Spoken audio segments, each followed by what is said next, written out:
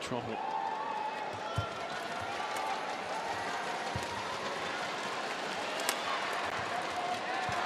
That's extremely lucky by him.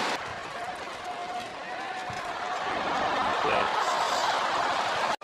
game for the Koreans is now wide open. Wide open.